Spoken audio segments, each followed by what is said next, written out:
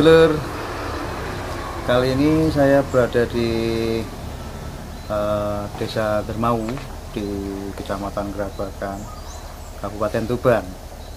Ya. Sekarang saya berada di Tepat Berdiri saya ini Di samping Bengkelnya Empu Supo. Ya.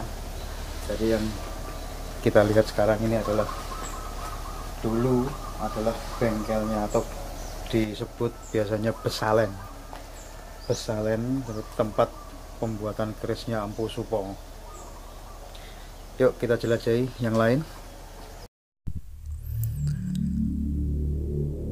Terletak di desa Dermau kecamatan Gerabakan terdapat petilasan seorang ahli keris yang legendaris bernama Empu Supo. Hidup di masa transisi antara kerajaan Majapahit ke kerajaan Demak. Menurut cerita masyarakat lokal, Empu Supo pernah menikah dengan adik Sunan Kalijogo yang bernama Rasa Wulan. Karya Empu Supo yang terkenal yaitu keris sengkelat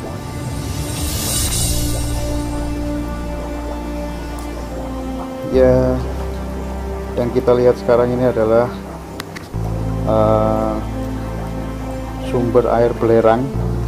Jadi tepat saya berdiri di sini baunya sangat menyengat sekali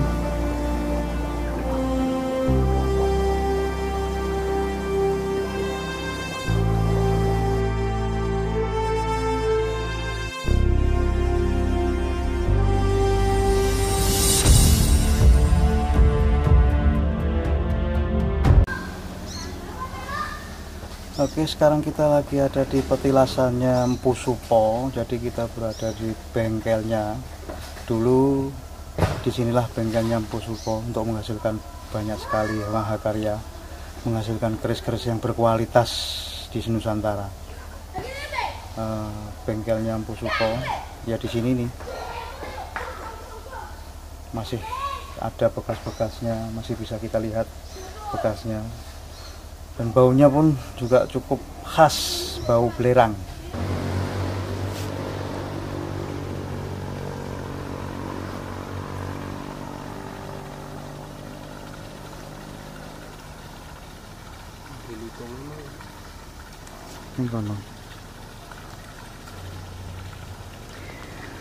Kalau dilihat uh, bangunannya di sini sepertinya dulu pernah mau dibikinkan tempat wisata tapi nggak tahu. Kok sekarang terbengkalai? Uh, iman jadi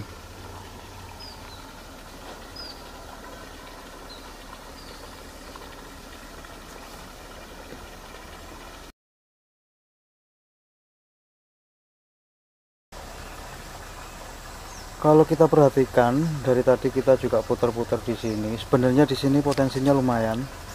Karena saya lihat ada beberapa tadi ek, apa muncul beberapa ekor ini lutung Jawa. Khas seperti monyet cuman dia uh, bertubuh hitam. Seluruh tubuhnya hitam.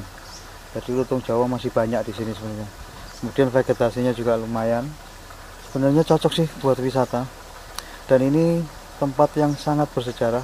Di tempat inilah Empu Supo itu membuat sebuah bukan sebuah ya jadi banyak sekali mahakarya dari Empu Supo itu dihasilkan di sini. Jadi mungkin keris-keris yang kita kenal sekarang itu dulu dibuat di sini. Oke dulur sekian dulu perjalanan kita kali ini. Dan sampai jumpa di lain kesempatan. Salam Nusantara Agung